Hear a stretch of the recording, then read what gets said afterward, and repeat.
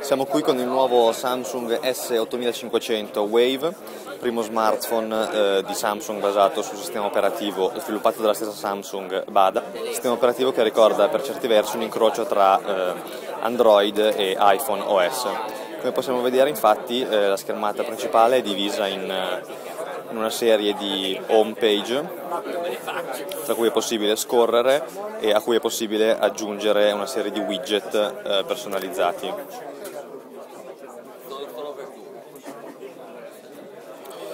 Se accediamo invece al menu delle applicazioni mm, possiamo notare che in questo caso il dispositivo richiama molto l'impostazione di Apple.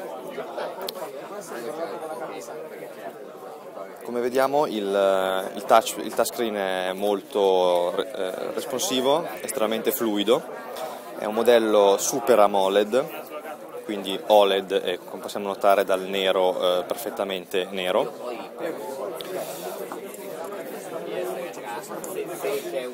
Tra le novità, eh, se apriamo l'applicazione per il telefono, eh, troviamo un pulsante per effettuare videochiamate e in effetti nell'angolo in alto a destra eh, possiamo notare una piccola videocamera frontale.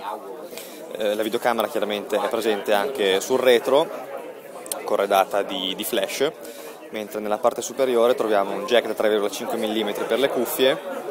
e una presa USB che in questo momento è nascosta dal, dallo sportellino, standard micro USB per il, per il caricabatterie e per il collegamento dati al computer. Sul fondo eh, non troviamo nulla al di là della, del microfono, mentre sui due lati abbiamo il pulsante di scatto per la fotocamera, i pulsanti per regolare il volume e un altro pulsante che in questo momento non, non sappiamo bene cos'è.